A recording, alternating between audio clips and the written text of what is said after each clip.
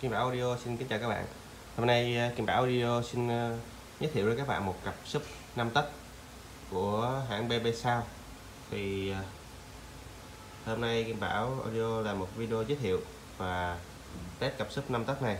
Thì cặp sub 5 tấc này thích hợp để cho cho các bạn đi ghép với các dàn nhạc sống. Ha. thì hôm nay Kim Bảo Audio đã chuẩn bị sẵn một cặp ở đây. Đây. Của BB Sao ở đây các bạn rồi hình dung, thấy ha? Thì, đấy, mặt hồng. Trước đây bằng lưới ha. Ok, bên đây một cái bên đây.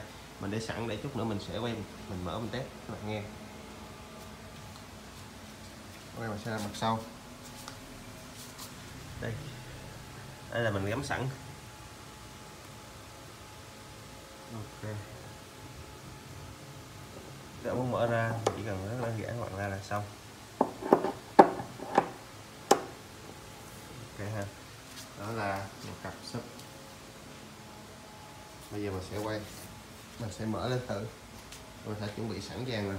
Mình nói sẵn rồi. Để đỡ tốn thời gian, bây giờ mình sẽ vặn nó lên.